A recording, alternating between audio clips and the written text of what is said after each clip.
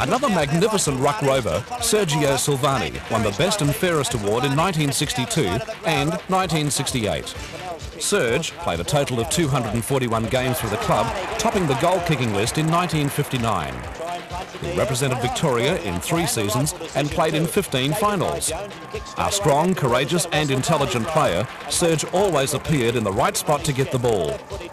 He coached the senior side for a brief period in 1978 and captained the side in 1964. Serge has also coached the reserves, served on the committee and is currently assistant coach.